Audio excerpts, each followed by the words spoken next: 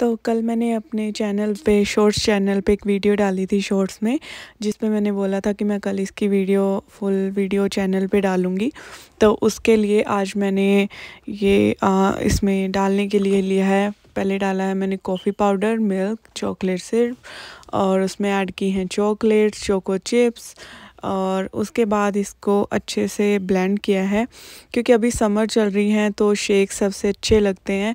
Shakes popsicle और या फिर समर ड्रिंक तो इसलिए मैंने ये ट्राई किया है बनाने का। तो उसके बाद मैंने इसको ब्लेंड किया, अच्छे से ग्लास में डाल लिया है। और उसके ऊपर मैंने डेकोरेट करने के लिए यूज़ वही चॉकलेट सेब का यूज़ कर लिया, जो मैंने इसमें मिक्स किया था। तो उसके बाद मैंने चोको चिप्स ऐड किए हैं। और मैंने अपनी लास्ट वीडियो में ट्राई किया था चॉकलेट बाउल बनाने का बलून के साथ तो वो फेल हो गया था।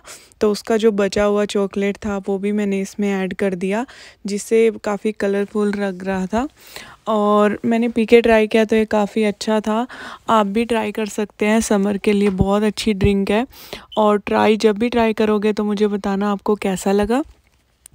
और थैंक यू फॉर वॉचिंग और अगर आपको ये अच्छी लगी हो वीडियो तो लाइक और सब्सक्राइब ज़रूर करना और नेक्स्ट टाइम के लिए और भी अच्छी अच्छी वीडियो लेके आते रहेंगे। Thank you for watching and keep supporting और आप इन्जॉय करो ये ड्रिंक सबके साथ। Thank you